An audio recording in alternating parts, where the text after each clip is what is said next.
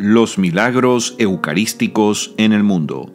Exposición internacional diseñada y creada por el beato Carlo Acutis. En esta audiopresentación veremos el milagro eucarístico de Ferrara, Italia. Este milagro eucarístico sucedió en Ferrara, en la Basílica de Santa María en Vado, el día de Pascua, 28 de marzo de 1171. El padre Pedro de Verona, prior de la Basílica, estaba celebrando la misa de resurrección. Cuando llegó el momento de la fracción del pan consagrado, la hostia salpicó tanta sangre que algunas gotas llegaron a teñir la pequeña bóveda que estaba encima del altar de la celebración. La bóveda teñida de sangre fue protegida con la construcción de una pequeña capilla construida en 1595.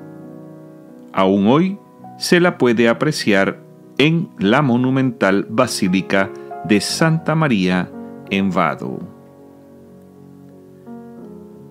El 28 de marzo de 1171, el prior de los canónigos regulares portuensi, el padre Pedro de Verona, estaba celebrando la misa pascual, siendo asistido por tres hermanos, Bono, Leonardo y Aimone. En el momento de la fracción, la hostia consagrada salpicó un flujo de sangre, llegando a manchar visiblemente la bóveda que estaba sobre el altar. Las historias narran que el sagrado terror del celebrante y la inmensa maravilla del pueblo que desbordaba la iglesita. Muchos testimonios afirmaron haber visto que la hostia asumía el color de la sangre y que en ella se dejaba ver claramente la figura de un niño el obispo Amato de Ferrara y el arzobispo Gerardo de Ravenna fueron informados del prodigio, pudiendo constatar ellos mismos la sangre impregnada en el techo, es decir, la sangre que en forma muy viva teñía de rojo la pequeña bóveda del altar. La iglesia se convirtió muy pronto en meta de peregrinaciones fue restaurada en varias ocasiones y ampliada por orden del duque Hércules el Dieste a partir del año 1495.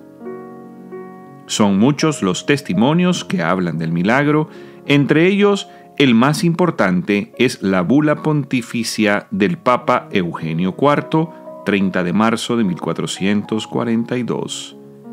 En ella el pontífice menciona el prodigio haciendo referencia a los testimonios de los fieles y a las antiguas fuentes históricas.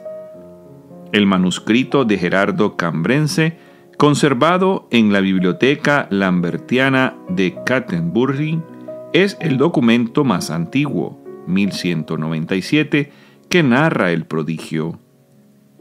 El historiador Antonio Samaritani ha recuperado estas narraciones en su reciente obra Gemma Eclesiástica.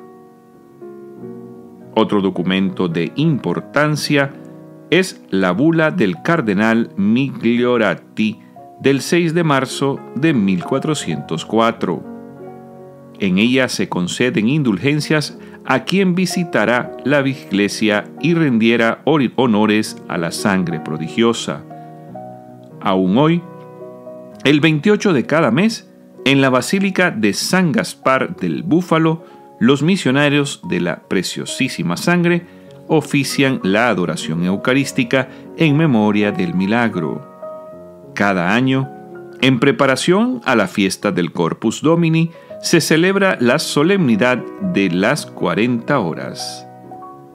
En 1971, ha sido celebrado el octavo centenario del milagro. Beato Carlo Acutis ruega por nosotros.